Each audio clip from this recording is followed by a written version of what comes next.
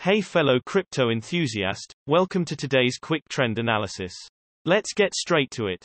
In today's video you will find out how the price of NEO has changed and what the technical indicators RSI, stochastic RSI and MACD are showing.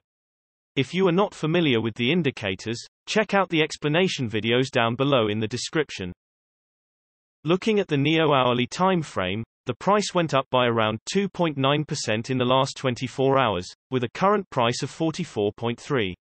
But the volume wasn't very high so the move wasn't very strong.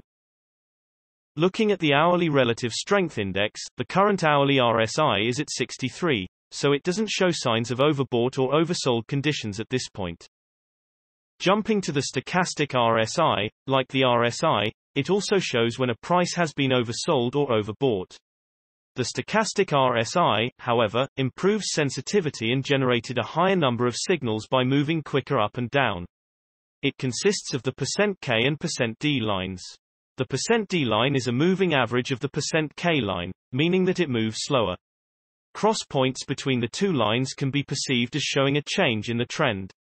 If we now look at the current hourly stochastic RSI, both the percent %K and percent %D lines are in the higher region, which means that the price is getting overbought and soon a trend change or at least some kind of consolidation could be expected. The K line is below the D line, which shows that the trend has shifted to the downside. Jumping to the hourly MACD, seeing as the MACD line is above the signal line, meaning that the trend is currently on the up. As we can see from the MACD histogram, the momentum is indecisive at this moment.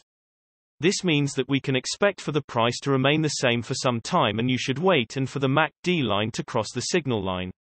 This will mean it's bearish. Moving to the 3-hourly relative strength index, the current 3-hourly RSI is at 63, so it doesn't show signs of overbought or oversold conditions at this point.